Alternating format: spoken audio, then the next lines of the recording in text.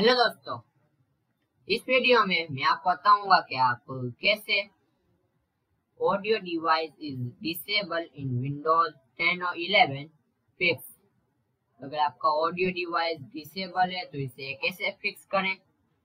कैसे इनेबल करें? तो बड़े इजी आसान स्टेप्स में फिक्स या इनेबल कर सकते हैं। तो सबसे पहले आपको सर्च करना है। कंट्रोल पैनल सिंपली सर्च करें और फिर से ओपन कर लें।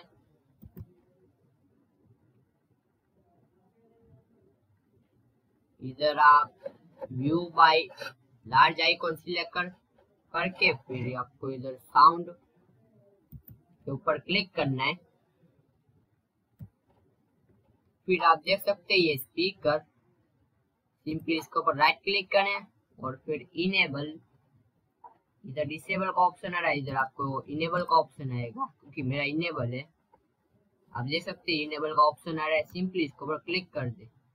अगर आपका डिसेबल है तो सिंपली राइट क्लिक करके आप इधर से इनेबल कर सकते हैं। फिर ओके पे क्लिक कर दे। तो बड़े इजीली हम इनेबल कर सकते हैं। राइट क्लिक करना और फिर इधर इनेबल ऑप्शन आएगा। सिंपली उसके ऊपर क्लिक करके आपको ओके पे क्लिक करना आप इजीली फिक्स कर सकते हैं या इनेबल कर सकते हैं।